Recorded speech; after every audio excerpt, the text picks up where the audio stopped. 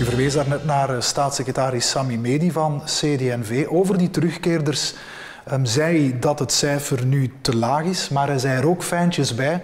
Dat is eigenlijk al jarenlang te laag, dat moet omhoog. En dan wijst hij eigenlijk naar zijn voorganger Theo Franke. Ja, ik moet zeggen, ik vond dat echt onterecht. Wij hebben enorm ingezet op de repatriëring van mensen met een crimineel verleden. Die cijfers hebben nog nooit zo hoog gelegen. We zijn daar naar een verdriedubbeling gegaan van de cijfers, naar een 1600-tal mensen die uh, gerepatrieerd werden. We hebben volop ingezet op uh, repatriëring en daarin zeer, veel, zeer veel inspanningen geleverd.